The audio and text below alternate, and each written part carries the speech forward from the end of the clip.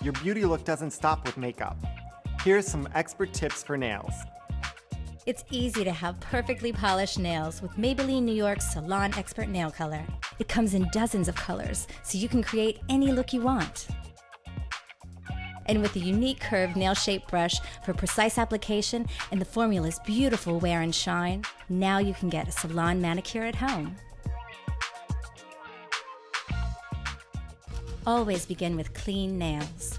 Remove old nail polish and file nails to your preferred length. Remember to work the file over the nail in one direction only, or you risk causing tiny tears that can lead to breaks. Shorter nails stay neat looking longer. Soak your nails for two to three minutes in warm, soapy water to soften the cuticles. Then apply hand cream to your hands and nails. Push back cuticles. Wipe off excess cream with a tissue. Next, gently buff your nails. Do not buff in a side to side direction or with a coarse file. Instead, use a smooth board to just remove shine in one motion from your cuticle to the tip of your nail. Finally, wipe your nails with polish remover to make sure they are clean and free of any cream or oil. Now you're ready for fun.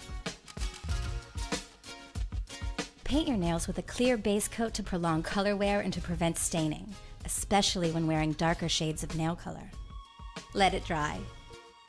Here's how you can do a classic manicure with a twist by layering two different colors for a customized look. First, roll the bottle between your palms to stir the polish. Now you're ready to apply a coat of full coverage nail color. For best results, use the three stroke method.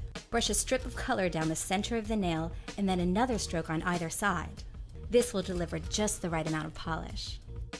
Apply polish sparingly. The thinner each coat, the longer polish resists chipping. Two thin coats of color are always better than one heavy handed application. Salon